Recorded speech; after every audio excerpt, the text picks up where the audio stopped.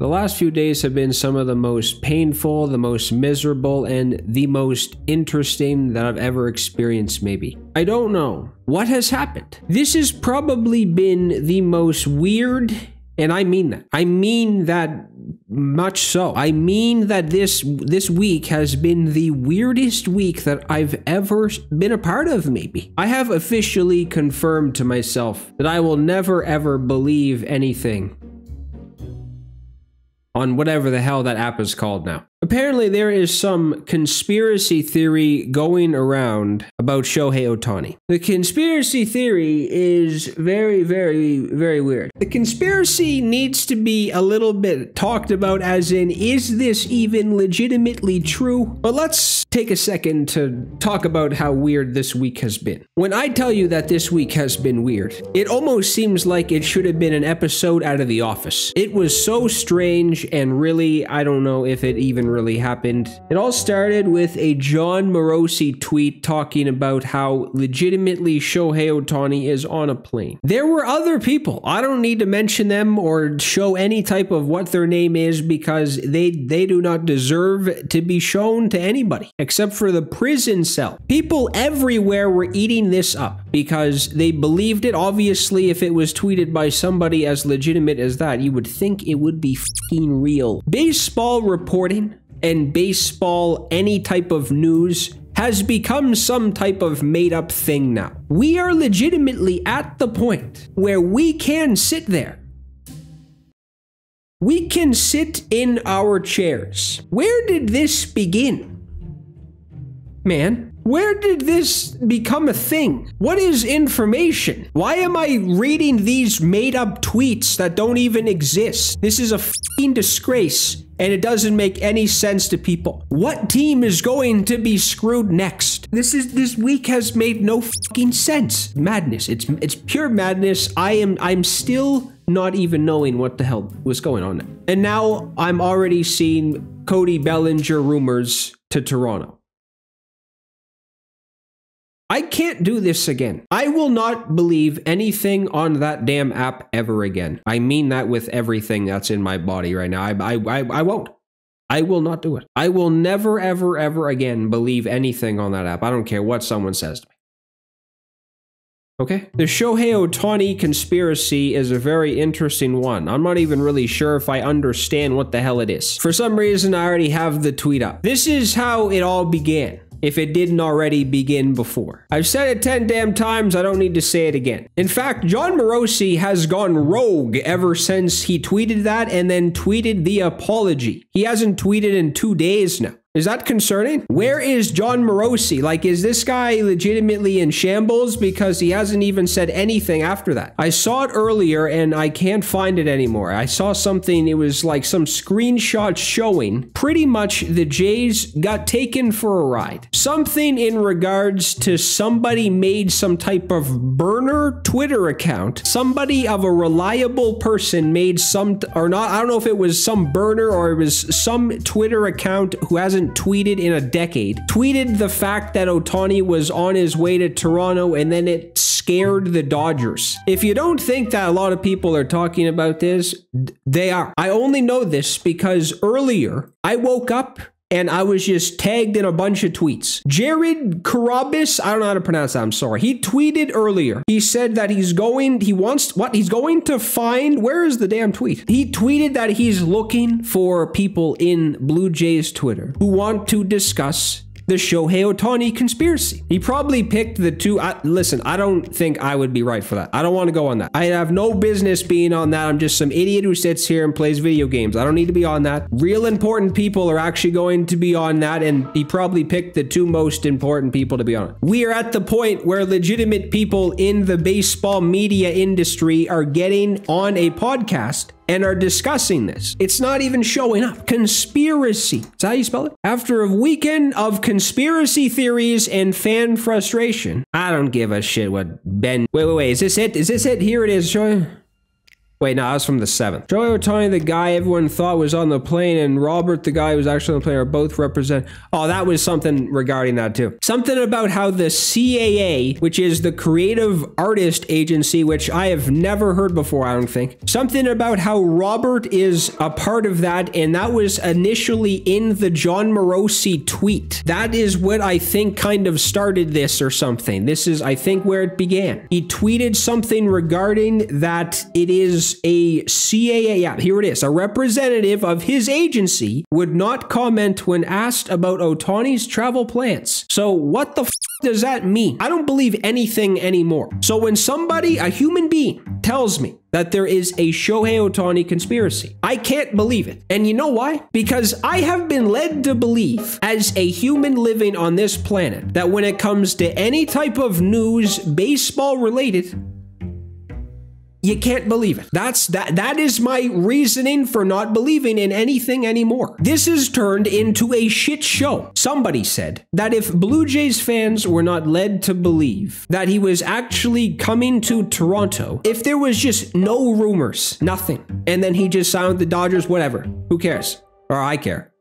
But it's not as bad. Now we have to deal with the conspiracy. Dude, you know how crazy this has gotten? I have honestly no idea who tweeted this again because I've lost my mind and I have no idea who tweets anything anymore. Somebody actually tweeted that if Shohei Ohtani gets to Rogers Center, it's on site or something. People are losing their minds over this shit. People are actually willing to fight Shohei Ohtani. I don't think that this is Twitter is just a nightmare. Twitter is so damn weird and just weird things happen on it all the damn time. I don't know what is happening anymore. Isn't that just how business works? Shohei Ohtani was clearly at the point. This guy was he would have gone to any damn team in baseball probably. He would have walked in the door. He would have said, "You know what, dude?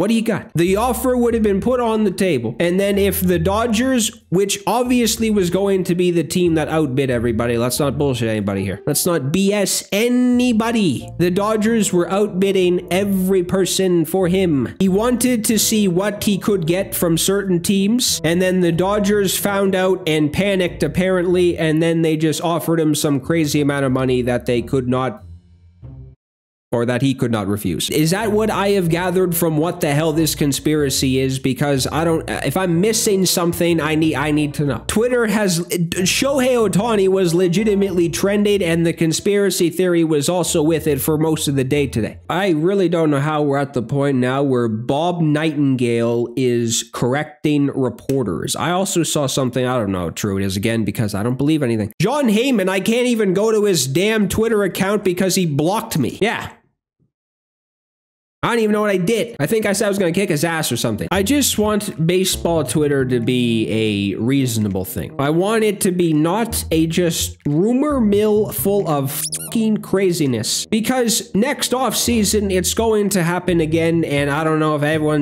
does anyone even give a shit anymore? I think I found the screenshot that everybody was quoting earlier, which honestly, I have no idea why this had what it even means. I'm kind of dumb. On Friday, reports broke that Ohtani's signing was imminent and that he was headed to Toronto to sign with the Blue Jays. The report was completely erroneous. Who the f is using that word? The Dodgers didn't know that. They held meetings Friday night with an air of worry. The rumors were likely false. They decided, but they still created angst amongst the Los Angeles executives. You just don't know, says one of the Dodger executives when asked about the Friday night meeting. That's the best way to describe it. We just didn't know. It was not a comfortable feeling. So basically, again, this just boils in the bubbly water. Burner Twitter accounts and many things ruined it for somebody, and the Dodgers panicked and then just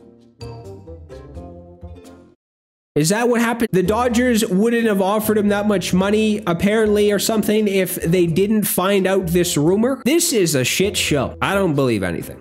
Because let's be honest, if I'm going to sit in this damn chair right now, I, I'm sitting here. If I sit in this damn chair and I sit here and think to myself, if Shohei Ohtani ever thought about going to Toronto, well, that would have been amazing. But what are the damn odds? I think every Blue Jays fan should stand up, walk to the bathroom, and say to yourself, was it ever happening?